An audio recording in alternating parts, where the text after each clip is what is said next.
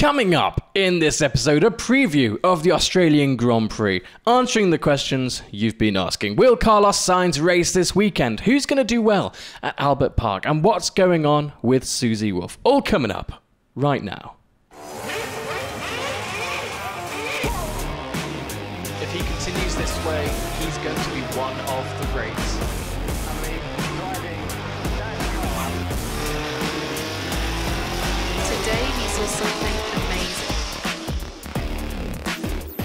This is Formula One. This is the sport we love. Welcome to F1 Briefings in proud partnership with Sports Illustrated. We're going to jump straight in. It's the Australian Grand Prix this weekend. We're going to be getting up very early because we are based in the UK. But let's talk about Carlos Sainz first of all, because he, well, he had a bad weekend at the Saudi Arabian Grand Prix, didn't he? Yeah, so, right, he missed the Saudi Arabian Grand Prix. So he took part in FP1 and FP2, but then before FP3, he was taken off for emergency surgery for appendicitis. First of all, I can't believe he was actually in the car for the first two practice sessions. Insane. But we move on. So Oliver Bearman, the reserve driver, stepped in for him, did a fantastic job. Yeah, we just just to pause. We actually talked about him in the last mm. podcast. So if you want to hear us praise the young man, go listen.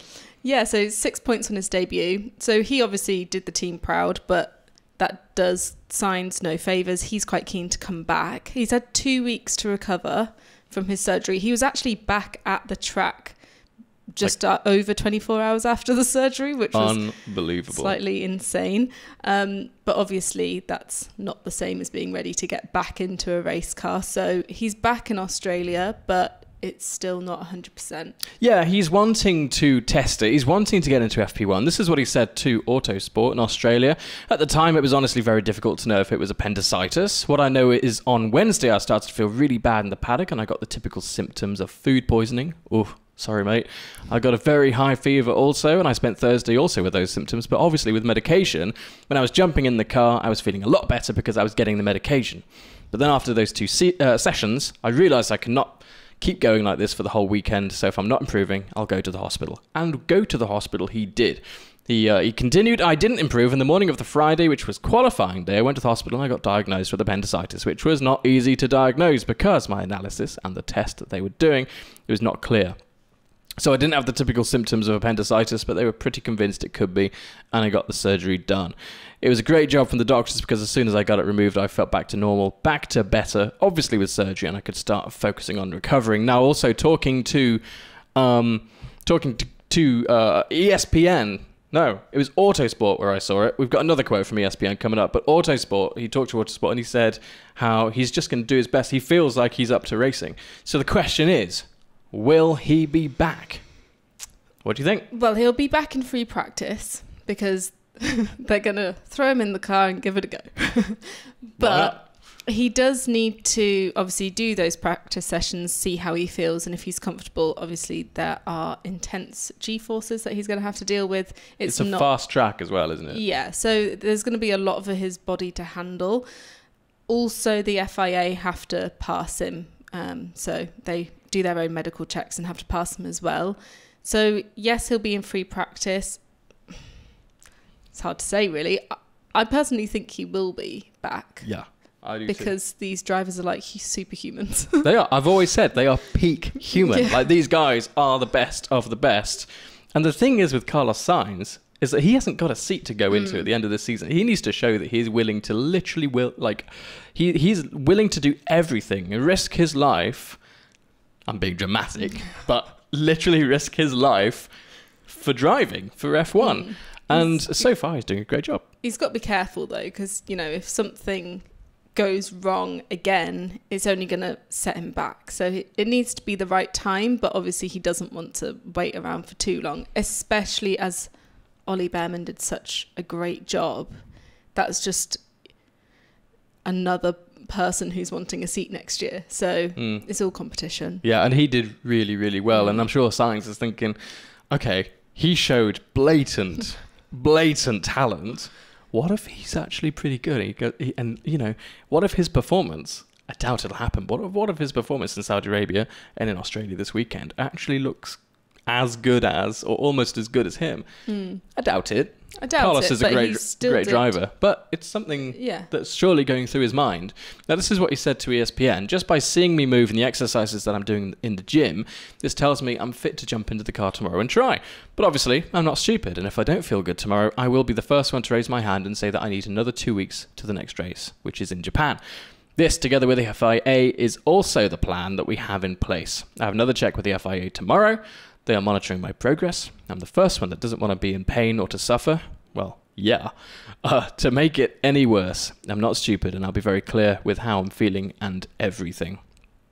Like you said, Ollie Bearman is theirs, Formula 2 and Formula 3 on the same weekend.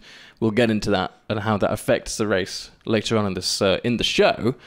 But Ollie Bearman is there. He's he's got to be thinking, "Come on, uh, wishing Carlos the best, but just take it easy. Have another week off, mate. Mm. Just to have another week, lay in bed, enjoy the F1 from the TV." Don't you think, though, on the other side of it, he did so well in Saudi Arabia that he has already proved himself to other teams that he is someone to, someone to consider for next year. He's also got his Formula 2 championship that he's currently competing in. So, Which he's at the bottom of. Yeah, and he got pole position in Saudi Arabia and had to give it away, obviously, because he then was going into F1. So maybe he would rather actually stay in F2, do as best as he can there, because he's kind of already proven himself. Good point. That's a very good mm. point. I mean, he's a racing driver. I think he's going to be wanting to to be in the fastest car and you know really prove himself. But yeah, I think he might be right. Like he might be thinking, "I've done that now. Can I focus on my day job?" Yeah. No, I mean, good point. Very good point. I didn't think about that. Let's talk about the next question, the big question: Who, who, who? Let me move this image out of the way. Ah, it's not working. Who is going to come out on top at Albert Park? Now let's talk quickly about the track. Um, uh, it's not actually a track full time. It's a kind of hybrid of street race, right? And it gives it a very interesting uh, kind of level level of features. Um, there's going to be a lot of evolution because there's not cars going around it all the time. There's going to be a lot of evolution. As well as that, there's a number of other racing, uh, other races going on. There's Formula Two, Formula Three, Porsche Carrera Cup, Australian Supercars. There's going to be lots of rubber going down on that tarmac over the over the race weekend, and to make things more difficult, Pirelli are changing the tyres that we're using this weekend as well. So they've, they've gone for the three softest compounds, the softest of which has never been used uh, before um, on this track. So uh, it's going to be very interesting. We're expecting the normal kind of stuff. Start with the mediums, move on to the hards towards the end of the race. But this is Albert Park. There could be a safety car. We saw what happened Or last three. year, or three. That we saw what happened last year. It is a crazy, exciting, dangerous track, which always kind of throws something at you. Yes, it's not so exciting these days. It doesn't really suit these cars, but I think it could be really interesting. And having that soft available could add just a little spanner to the works of these strategies that the teams are going to be putting out.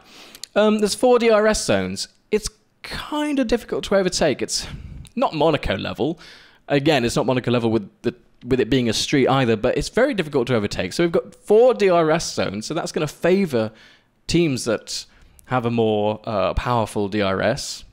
Red Bull, maybe. I mean, the thing is, is we don't really know much. We assume Red Bull's going to be at the front. we Um, haven't actually seen their DRS in action yet. Good point. Yeah. well, maybe a bit from Perez, but Ouch. Yeah, I mean, like we really. don't we don't really know because they've been at the front a lot, um, and yeah, it's expecting it's expected to be a little cooler as well. So it's five a.m. in England, isn't it?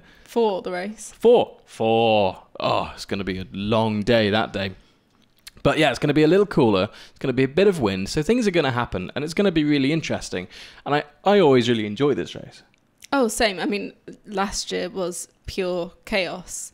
Was it three red flags? Yeah, that's right. Yeah, never, never, bese- never before seen at Albert Park. I think. Yeah, three it- flags, really cool. Was madness, but it it was really good to watch, but maybe for some of the wrong reasons. Yes, but it was it was a very very very good race. It's one of my favorites. But Max won last year. He's obviously expected Yeah, that's right. to win this year. Yeah, th- that is the question then, isn't it? Who is going to succeed at Albert Park? Now, like you said, kind of think Red Bull, they're going to run away with it, I think. But behind them, we still haven't quite seen the performance of the teams in that kind of front middle section. So we've got Ferrari, which look like they're pretty much second uh, in in the in the standings um, in in performance, and then McLaren, Mercedes, Aston Martin. They're all kind of Bunched together. bunched around, and we don't really know. So um, Max is going to win, right? Yeah, I mean, unless, you know, Perez, we can't discount Perez. Also, he loves the street circuit. It's not, like you said, it's not your typical street circuit. And Max has won here previously. But Perez is obviously, on paper, the person that's most likely to threaten Max, if you want to put it that way. But yeah, Saudi and Bahrain, they are two very different circuits, so we haven't really seen a true representation of the car's pace yet. Um, so, I mean, Mercedes as well, they're going into the weekend basically saying that our free practice sessions, we're going to be trying loads of different things and experimenting, and they still don't really know what's going on with the car. So, that doesn't give Mercedes fans much hope. Yeah, that's unbelievable. Three years in, and they're still experimenting. It's worrying times for Mercedes. Yeah. So who knows what's going on there? That's difficult to predict. McLaren, it sounds silly, but there is something about being in front of your home crowd, and ov- obviously Oscar Piastri is from Melbourne, Mm. so there is that bit of a push from the crowd. How Whether much does that that actually give you? Don't know. Mm. Not enough to threaten Red Bull, I don't think. Obviously. Yeah, yeah, totally. Um, Aston Martin, Alonso did very well last year. Mm, podium Um, last year. Yeah, exactly. But Aston Martin, you know, they they have kind of taken a bit of a step back in in the development war over the winter. So I, I think we're going to see Red Bull f- at the top. We're likely going to see Ferrari. The only way Ferrari's going to win this, I think, is if they can qualify well because they've got to get ahead of Red Bull. It's a difficult track to overtake. The issue is obviously four DRS zones. Red Bull are likely going to be able to utilize them. But if Charles Leclerc, Carlos Sainz, Oliver Bearman, whoever it's going to be, if they can just hold off the Bulls for a little while, let their tires run down, degrade. You know, this is a it's a track where degradation is something you've really got to think about. Um, we may be in for a pretty good race, and the Ferraris they do qualify well, and we know that the Red Bulls are set up completely entirely for the race pace. Yeah. So you know, we'll we'll see what happens. Like you said, Mercedes, we don't know where they are right now. They've had issues in both races so far. Bahrain, they had cooling issues, so they couldn't utilize the car. In Saudi Arabia, they whacked a massive board on the back of the car, and they had a load of drag. Um, I say that they were pretty quick in Saudi Arabia, but they just oh no, sorry, it wasn't the the drag, was it? That was McLaren. It was the rear stability. Yes. They really struggled. And again, Albert Park has a lot of high speed corners. They, they could, if they haven't understood their car, if the experiments go wrong, which Mercedes were kind of expecting them to go wrong now, Ouch. just because of experience, um, they may really struggle. Um, but this is a kind of track where it's it's a it's a nice varied track. So hopefully, what we're going to see is actually a good representation, like you said. Uh, what we're missing currently, a good representation of the cars and their performances. Um, I think that's everything. I think we've got everything. Just looking at the notes here. Yeah, cool, cool. Let's move on to the last. Oh, there's been there's been a lot of drama, hasn't there? Let's move on to the last story. Susie Wolff. What what boss? What a boss. That's all I'm gonna say. Just like the admiration I have for that woman is kind of ridiculous. People are calling her mother. I get Have that. you seen that? Oh, oh, No, I haven't seen it, but I dig it. whatever you're into, guys. Hmm. Alright.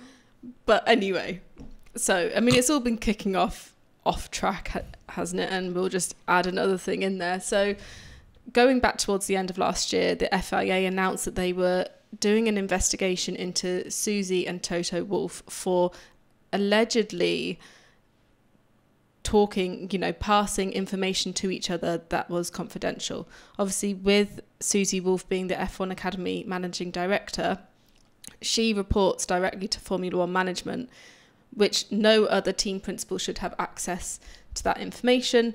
The FIA said that they had received complaints from other teams, but then pretty soon after, every other team released the exact same announcement saying, We haven't said anything. Like word for word. Word for word It's incredible. saying we fully support Susie Wolff, everything she's doing with the F1 Academy. We've not raised any complaints. It wasn't us. Even Red Bull were like, not me. it wasn't me. Christian's just checking, just making sure he hasn't sent a text. So very quickly after that, the FIA was like, "Oh, we're dropping the investigation. Nothing's happening." Then we haven't really heard too much about it since, but we know that in the background, I mean, at the time it sounded like both Susie and Toto were taking legal action separately. We haven't heard anything from Toto Wolff on this now, but yesterday Susie confirmed to social media that she has filed a criminal lawsuit against the FIA in France. So the question is, why, why, why in France? And uh, sorry, I just I did just scroll past a load of quotes. Shall, shall we go through some quotes? Go for Uh, it. this is what she said um, when she filed the criminal lawsuit against the FIA in France. She said, I can confirm that I have personally filed a criminal complaint in the French courts on the 4th of March in relation to the statements made about me by the FIA last December. There has still not been any transparency, transparency rather, or accountability in relation to the conduct of the FIA and its personnel in this matter. I feel more than ever it is important to stand up, call out improper behaviour, and make sure people are held to account. Whilst some may think silence absolves them from responsibility, it does not. Wise words from a brilliant person. Um, so yeah, the question is why in France? And this is this is the interesting bit, isn't it? Because it suddenly gets a little a little serious. So the reason why, one, the FIA is based in France, so it makes sense. But two, and more importantly, the defamation, which is what this is uh, uh, revolving around, is a criminal offence in France. And this makes what's happening actually incredibly serious. So, what does Susie Wolff want from this? She wants an apology, first of all, because it seemed like a weird. Like the investigation was launched within 24 hours or something stupid. It was launched so quickly, um, which is crazy. She wants an apology for that. But then, secondly, with all the teams saying, no, it wasn't me, she wants some sort of transparency about where this came from. Yeah. So, will this lead to a criminal conviction? That's the second question. Um, Mohammed Ben Sulayem, he's been in a bit of turbulent water uh, over the last week, maybe. He's been under investigation for uh, last year's Saudi Arabian Grand Prix with Alonso and all sorts. And there's obviously been a lot of drama surrounding the FIA and certain teams. But will this actually come to fruition? And uh, will will will Sulayem or someone in the FIA or the FIA generally face a criminal conviction? That is the question, isn't it? But I don't think. I don't think. Yeah, it's, that's the thing. You suddenly think this is actually quite serious. Yeah. I don't think it's actually this serious because what Susie wants is she's bending their arms backwards, isn't she? She's like, "I'm going to take you to court. Shit's going down. Yeah. This could la- that's this could lead to like some sort of criminal conviction." And they're going, "Okay, we'll tell you everything." Yeah. And that's exactly what she wants. She doesn't care, I would assume, about criminal conviction. She just wants to know. She wants to force an apology and she wants to force transparency. Because look, if someone is making allegations, difficult with everything going on at the moment, you kind of want to know who the allegations are from, don't you? As as the victim of the allegations. Yeah, definitely. Especially as with what the FIA was saying when very like when it came out hmm. words. Sometimes they fail you. Yep, they sure do. So when it first came out, I'm just going to start that again. The FIA made it quite clear that this was a complaint that had come from a team. So obviously, someone somewhere is not saying exactly where it came from. And it is damaging claims. Like it's it's a damaging thing to say about somebody and the reputation and she's worked so hard to build her reputation up just for something like that to tear it down. So she should go for it. Mm. I mean, I don't think it's going to go anywhere in terms of the criminal convictions, but uh, if she gets the answers and also just proves the point that that is not okay. Yeah, those words didn't fail you. I completely agree. Got there in the end. You did. You did. Words have been failing me all day because it is currently late. Um, but look, really excited for the Australian Grand Prix. This could be really good. We'll finally get to see. Like we've had a great first three races. I know they're kind of It's only two know- so far. yeah. But the first three races are very interesting tracks, very Oh, different sorry, tracks, really. very varied tracks. And you are entirely right. Maybe my words are failing me once again. But um, look, this is going to be interesting. I think now we'll get a really good idea. Like I was saying, the first two races, we knew who we, who was going to win, and it's looking like this may continue at least for the time being before the real development war comes. Imola, people are saying Miami. That's when Ferrari, McLaren, and a few other teams are starting to put some upgrades on their cars. But I think this could be a really interesting race coming up. Let's hope that no one gets hurt. Alpines, watch out for each other, please. We don't want another another example of what happened. I mean, you're going to be at the back, so don't worry about it. But try not to hurt each other. And uh, yeah, enjoy it. Early mornings for us. Don't get stuck behind Magnussen. Oh yeah, Charles, watch that first turn. Oh, don't. Okay. Charles, please, mate, please. Thank you so much for watching. It's been a crazy, crazy video. We're very tired. Enjoy the race. See you in the next video.